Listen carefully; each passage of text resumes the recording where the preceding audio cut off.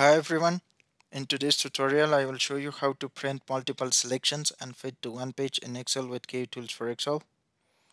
If you want to print multiple selections across worksheets into one page, you can apply Kutools for Excel's Print Multiple Selection Wizard utility to combine multiple selections into one page and then print them in one page.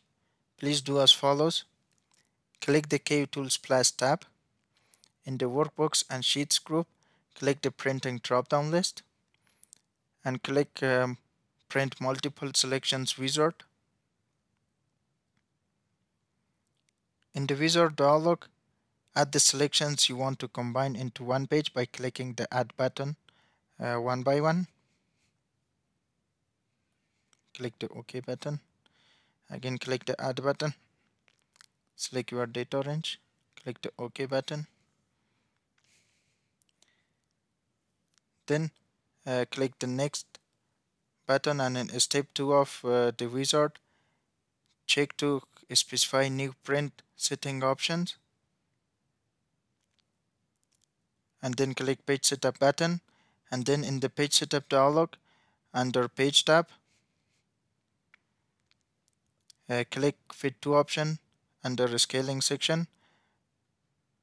And type 1 uh, into the text box.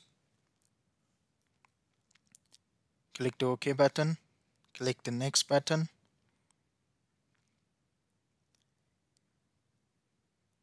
And uh, in the last step of the wizard, check one operation as you need. If you check the activate the worksheet but don't print it, it will combine all selections uh, in one new sheet uh, at the front of all sheets.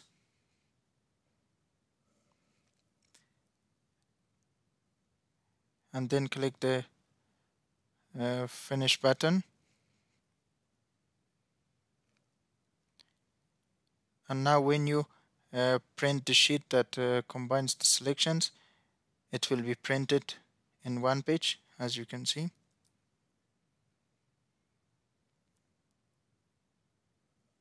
Thanks for watching and please subscribe for more videos.